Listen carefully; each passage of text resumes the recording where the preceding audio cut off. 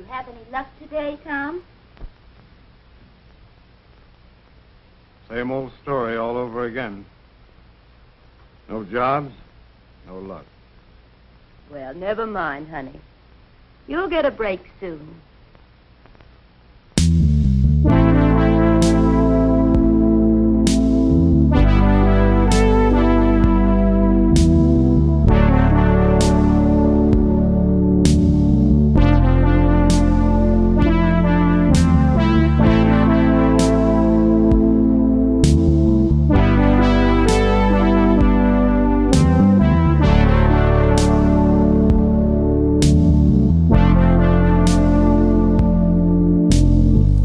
Honestly,